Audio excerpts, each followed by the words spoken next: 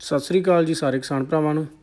ਤੁਹਾਡਾ ਆਪਣੇ channel Thind agriculture farm ਤੇ ਸਵਾਗਤ ਹੈ। ਜਿਹੜੇ ਕਿਸਾਨ ਵੀਰ ਚੈਨਲ ਤੇ ਨਵੇਂ ਨੇ, ਕਿਰਪਾ ਕਰਕੇ ਚੈਨਲ ਨੂੰ ਸਬਸਕ੍ਰਾਈਬ ਕਰੋ। ਵੀਡੀਓ ਨੂੰ ਲਾਈਕ ਤੇ ਸ਼ੇਅਰ ਕਰੋ। ਬੈਲ ਆਈਕਨ ਦਬਾਓ ਤਾਂ ਜੋ ਵਧੀਆ ਤੋਂ ਵਧੀਆ ਹਰ ਇੱਕ ਲੇਟੈਸਟ ਜਾਣਕਾਰੀ ਸਭ ਤੋਂ ਪਹਿਲਾਂ ਤੁਹਾਡੇ ਤੱਕ ਪਹੁੰਚ ਸਕੇ। ਕਿਸਾਨ ਵੀਰੋ, ਆਪਾਂ ਜੋ ਜੋ ਵੀ ਝੋਨੇ ਦੇ ਵਿੱਚ ਰეკਮੈਂਡੇਸ਼ਨ ਕੀਤੀ ਸੀਗੀ, ਆਪਣੇ ਵੀਰ ਨੇ ਉਹੀ ਚੀਜ਼ ਪਾਈ ਹੈ ਝੋਨੇ ਦੇ ਵਿੱਚ। ਤੇ ਯੂਰੀਆ ਵੀ, ਬਾਕੀ ਜਿੰਨੀ ਵੀ ਚੀਜ਼ ਆਪਾਂ ਨੇ ਜਿੰਕ ਵਗੈਰਾ ਕਿਹਾ ਸੀਗਾ ਵੀਰ ਨੇ ਉਨਾ ਹੀ ਪਾਇਆ। ਤੇ ਵੀਰ ਦੇ ਖੇਤ ਦੇ ਵਿੱਚ ਝੋਨਾ ਇੰਨਾ ਕੁ ਵਧੀਆ ਖੜਾ ਪੀਆਰ 126 ਝੋਨਾ ਇਹ।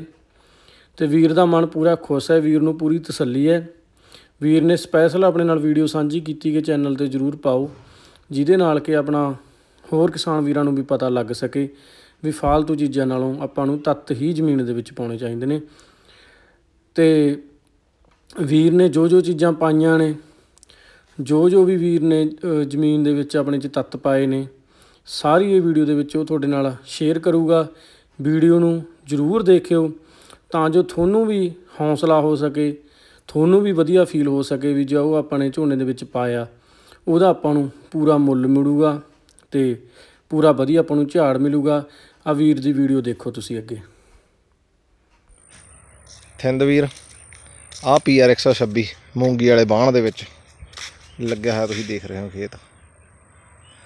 4 ਏਕੜ ਜਗ੍ਹਾ। 3 ਜੁਲਾਈ ਦੀ ਟਰਾਂਸਪਲਾਂਟਿੰਗ 20 22 ਦਿਨ ਦੀ ਪਨੀਰੀ ਆਪਾਂ ਟਰਾਂਸਪਲਾਂਟ ਕੀਤੀ ਹੈ। ਦਾਣਾ ਬਹੁਤ ਸ਼ਾਨਦਾਰ ਆ, ਦੇਖ ਸਕਦੇ ਹੋ ਤੁਸੀਂ। ਆ ਦੇਖੋ, ਕੋਈ ਧੱਬਾ ਨਹੀਂ ਹੈਗਾ ਦਾਣੇ ਦੇ ਉੱਤੇ। ਮੁੰਜਰ ਬਹੁਤ ਭਾਰੀ ਲੱਗੀ ਹੋਈ ਹੈ, ਦੇਖੋ। ਮੁੰਜਰਾਂ ਬਿਲਕੁਲ ਸਾਈਡਾਂ ਤੇ ਲਟਕ ਚੁੱਕੀਆਂ ਨੇ। 10 ਤਰੀਕ ਨੂੰ ਇਹਦੀ ਆਪਾਂ ਵਾਢੀ ਕਰਾਂਗੇ। ਆ ਰਾਹ ਦੇ ਨਾਲ ਨਾਲ ਤੁਸੀਂ ਦੇਖ ਲਓ ਵੀ ਕਿਵੇਂ ਝੁਕੀ ਹੋਈ ਆ।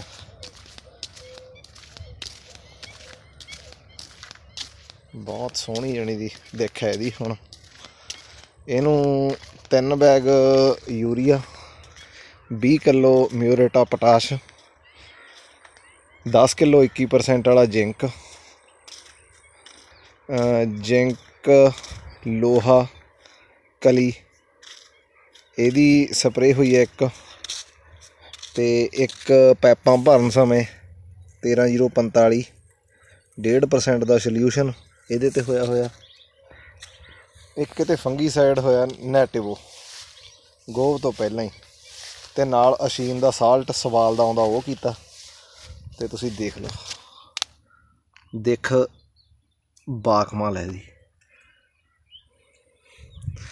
ਬਿਲਕੁਲ ਐਨ ਬਿਮਾਰੀ ਰਹਿਤ ਖੜਾ।